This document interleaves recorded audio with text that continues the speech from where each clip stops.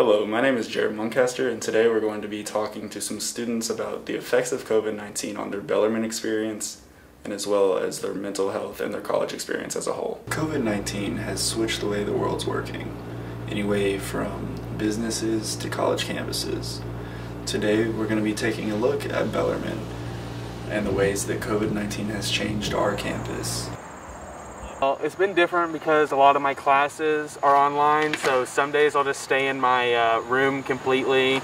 And then also, like, just going out in general, I always have to wear my mask on, so it's a lot more of like being prepared whenever leaving my room, which is a lot rarer than it usually is. Uh, how has it affected your college experience as a whole?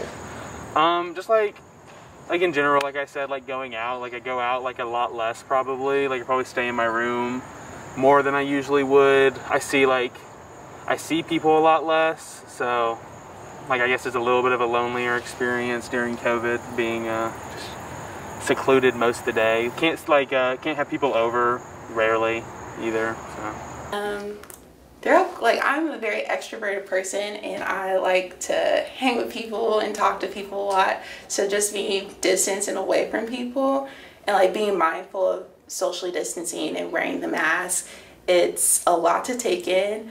Um, especially during the summer, like we can like I couldn't travel down to Louisville to visit my friends or um, just like interacting at work with guests.